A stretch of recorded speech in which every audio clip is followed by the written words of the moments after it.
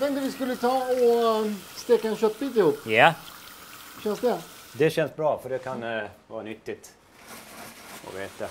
Okej. Mm. Här har vi då göttig härlig entrecote. Mm. Pepparkvarn. Använd alltid pepparkvarn. Färdigmald peppar den är ofta så här bara pepprig i smaken. Mm. Den här blir fruktig och aromatisk. Så då lite peppar, lite salt. Kör lite flingsalt. Sen gäller det att ha en het panna. Mm. Tar vi lite olivolja i den, bara lite, lite grann. Sådär. Sen tar vi även lite smör.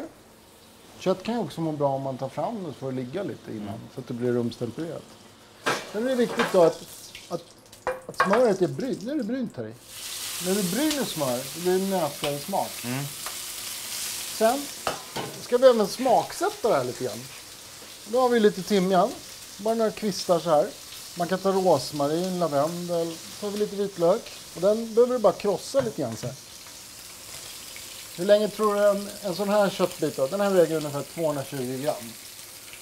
Hur lång tid tror du den tar att steka? Per sida? Ja, för- Ja, per sida, eller men steka klart för att få den exempelvis medium. Tre, fyra? Tre, fyra minuter? Ja, tre. Nej, längre tid tar det. Jag Okej. skulle säga ungefär, ungefär en och en halv till två minuter per sida. Mm. Och sen, beroende på hur- liksom hur varmt det är då. Och sen får den ligga och vila några minuter.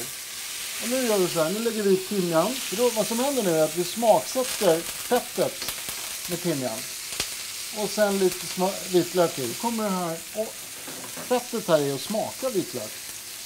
Och timjan. Men då är det också viktigt att man inte låter det ligga i för länge, för då kommer det brännas. Eller överstekas, och då ändras smaken på det. Det är därför jag lägger det här ovanpå, man behöver bara parfymera fettet med det här. Då lägger vi upp det här. Sen bara öser vi köttet med det här. Så kan man känna lite på köttet så här. Man får inte pressa för mycket, för då pressar man ut alla safter i köttet. Om du, om du trycker lite lätt så här nu, Ja, till att få en medium. ja en halv minut till kanske.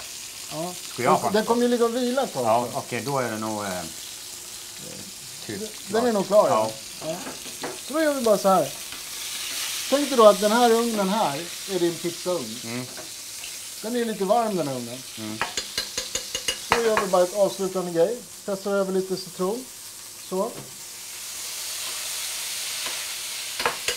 Så. Så låter vi den här stå en liten stund. Bara mysa.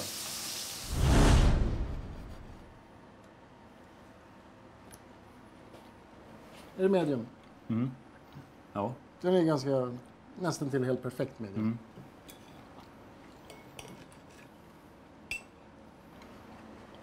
Det blir bra. Ja. Mm. Ja, det är gott. Men det där grejer du väl? Det, det tror jag.